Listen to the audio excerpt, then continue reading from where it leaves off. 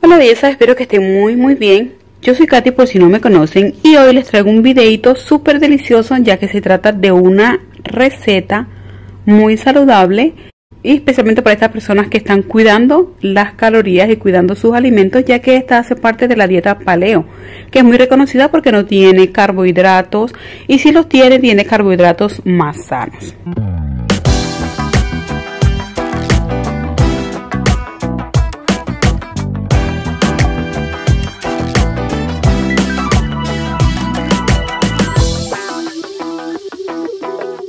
Hoy les voy a compartir una receta de una pechuga de pollo rellena de artichoque y tomate con una deliciosa ensalada de espinaca y remolacha. Está súper delicioso y les aseguro que les va a encantar. Los ingredientes los voy a dejar en la caja de descripción de este video para que ustedes puedan mirarlo y también les voy a dejar las cantidades. Así que vamos a comenzar con nuestra deliciosa receta. Primero que todo vamos a calentar el horno a 180 grados. Mientras tanto vamos a cortar el artichoque y el tomate en rebanadas y también vamos a pelar y cortar en cubo la remolacha. Colocamos la remolacha en una bandeja para hornear, le agregamos un poquito de aceite de olivas y salpimentamos.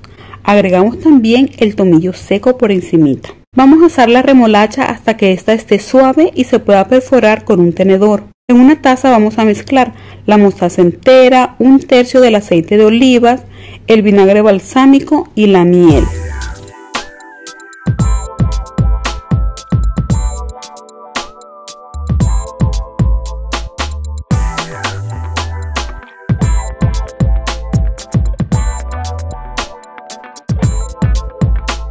Ahora tomamos la pechuga de pollo y abrimos un bolsillo en la parte más gruesa de la pechuga.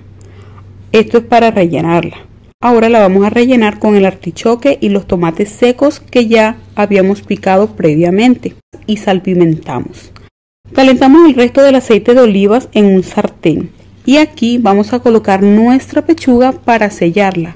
Para esto la colocamos 3 minutos por un lado, 3 minutos por el otro o hasta que ésta esté dorada. Luego que nuestra pechuga esté sellada, la transferimos al horno y horneamos hasta que esté cocida totalmente. En este momento miramos si podemos retirar la remolacha del horno. Si ya está lista, la vamos a colocar en una taza a donde vamos a agregar la espinaca y mezclamos todo con la salsa de vinagre balsámico que preparamos al principio. Cuando nuestra pechuga esté lista, vamos a retirarla del horno y la servimos encima de la ensalada preparada.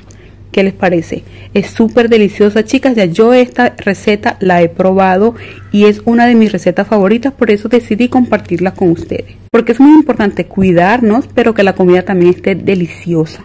Espero que este video les haya gustado mucho, que se den la oportunidad de probarlo porque sé que les va a encantar. Cualquier pregunta, cualquier duda, sugerencia, como siempre les pido que me lo dejen en la parte de los comentarios y yo le estaré contestando en cuanto me sea posible. Yo por mi parte les deseo muchísimas bendiciones y le mando muchísimos besitos. Mm. Cuídense mucho y yo la sigo esperando aquí en Belleza by Chao.